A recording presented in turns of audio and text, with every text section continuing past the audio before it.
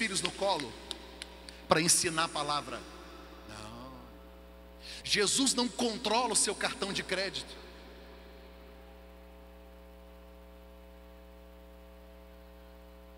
Quem cuida dos seus filhos é você.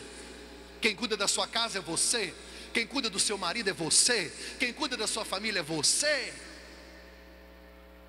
Vou dizer de novo: pare de responsabilizar Deus por suas atitudes irresponsáveis. Volta para casa. Esse é o seu primeiro ministério. Se você não cuida da sua casa, não ouse cuidar da casa de Deus.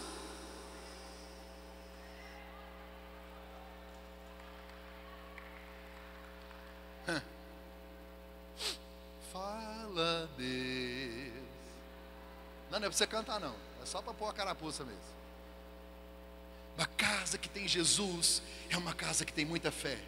Pastor, mas só me diga, o senhor falou que o telhado quebrado, o paralítico inteiro. Sim, e se o telhado estiver inteiro? O paralítico vai ficar quebrado. Tem atitudes que a gente toma que nós vamos ter prejuízo sim. Você tem que pesar na balança o que vale mais, coisas ou pessoas. Não construa o seu sucesso sobre os escombros da sua casa.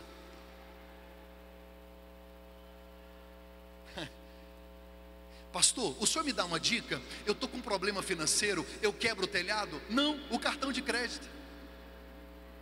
Pastor, eu estou sendo tentado por uma garota linda, maravilhosa. Eu sou casado, mas ela está me mandando mensagens. Eu quebro o telhado?